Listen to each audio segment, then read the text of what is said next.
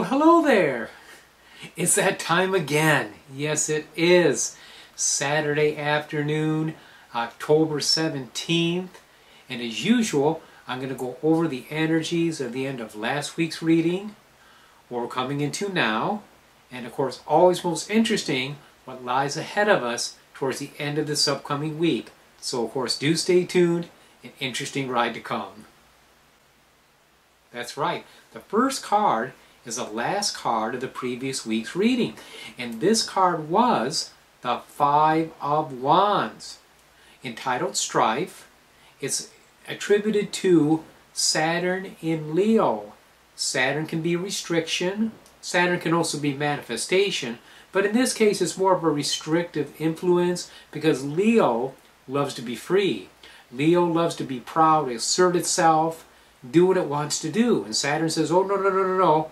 We're going to have more responsibility. We're going to be focused. We're going to be concentrating on overcoming obstacles in order to reach our goals. So it's not a terrible card because our lives are strife. We are here on Schoolhouse Earth to learn lessons. And this is definitely a lesson teaching influence. Uh, for myself personally, I found circumstances trying at times, driving at times was difficult, dealing with other individuals at times could be difficult. It came about in external circumstances for me, is how this manifested. But this tended to teach me patience. It tended to give me discipline. It supported and strengthened me. It was not a destructive influence.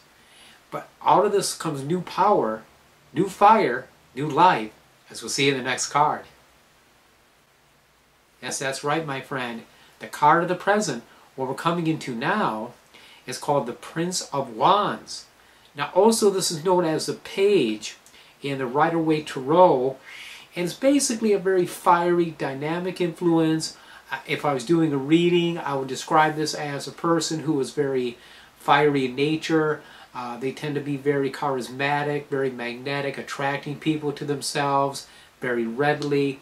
People tending to like them because they have all this creative energy, all this force, all this fire, lots and lots of self-confidence. So, in practical terms, this may very well translate into confidence for you this week. You may feel very strong, very much like, yes, I can proceed with my plans. I've broken through the resistance, and now I can, I can go forward and do the things that I want to do and need to do, which is kind of like how I feel myself. I have felt energy shift, and I feel like things are easing up, and things are going to be flowing in a very powerful way this week. And we just have to watch against falling into our own limitations, because that's at this point the only thing that can hold us back, as we'll see in the next card.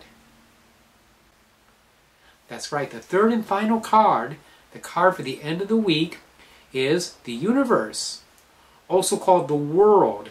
In the Rider Waite Tarot, it's attributed to Saturn. Now it's interesting, last week we had Saturn in Leo. Now this week we have Saturn. Now this I see is different though. For one thing, notice that the figure in the card is dancing. It's a dance of creation. It's manifesting. It's making choices. It's focusing. Yes, we are free, but we have to focus in order to use that freedom. We have to make decisions. We have to restrict ourselves in some ways. Or we may also be faced with our own limitations inside of us our fears, our blocks, our inhibitions. These are things that we may need to overcome to get to where we want to go. But this is much different to me than last week's Saturn in Leo.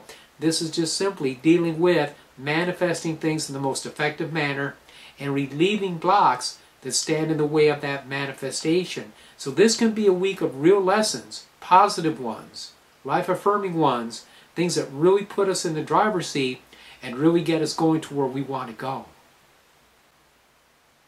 Well, there you go. The blog blazed and you blazed with it as usual. Thanks a lot for watching my blog. I'm going to keep it going. Uh, today I'm doing on Saturday. Some days it'll be Sunday or Monday. I have to go around with what's happening. I have to be a little flexible and I hope you can be so too. But I love you and I thank you again. Till I see you next week, many, many blessings.